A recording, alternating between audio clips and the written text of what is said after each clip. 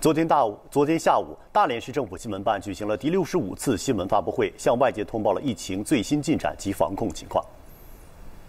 一月四号十二点到一月五号十二点，大连市新增一例本地无症状感染者，病例已转运至省集中救治大连中心隔离治疗。目前全市累计报告新冠肺炎确诊病例五十例，本地无症状感染者三十一例。五号下午，大连市又有三例无症状感染者出院。出院后，无症状感染者将继续在隔离医学观察场所进行十四天的医学观察。目前，大连市累计五例确诊病例和六例无症状感染者出院。按照大连市防控指挥部工作安排，大连市加大了对金浦新区核心管控圈和封闭管控圈的核酸筛查力度，有计划、有步骤地从里到外进行多轮次核酸检测。目前，金浦新区由义、先进、雍正、光中。和站前五个街道的封闭管控圈已完成了五轮的核酸检测，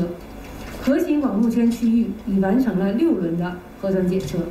与此同时，大连市卫生健康委统筹调度全市医疗资源，在确保防控安全同时，全力保障集中隔离场所、居家隔离等隔离管控区域人员的医疗服务，解决隔离管控人员看病就医的实际问题。截至目前，全市各医院共接诊隔离管控区域患者九百六十五人次，为隔离管控区域患者手术二十一台次，隔离管控区域产妇生产实例。疫情发生以来，大连市城市管理部门坚守一线，全力以赴，持续筑牢疫情防控期间环卫防线。城市生活垃圾一日两清，日产日清；中风险及其他重点地区至少一日三清，必要时实行巡回反复清运。疫情期间，累计收集、运输、处置重点区域生活垃圾九千零二十点九吨，全部采取固定人员、专用车辆运往焚烧厂的方式进行无害化处置。对冷链垃圾，全部收运至末端处理设施进行无害化处置，并同步开展涉疫区域消杀和其他地区的预防性消杀工作。